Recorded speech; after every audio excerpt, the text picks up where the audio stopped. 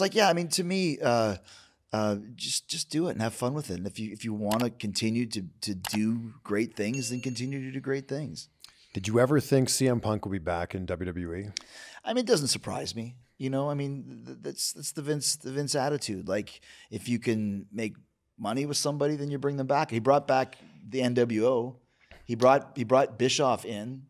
You know, there's there's there's there's, there's Yeah, Ultimate Warrior. yeah, and, and yeah, and Vince Bret. isn't in charge, but Triple H learned from Vince once again, and, and you know the fans keeping the fans entertained and happy. I mean, look, he came back and it was the highest viewed uh, social media segment that they've ever had. So once a, right out of the gate, it was it was a benefit to them.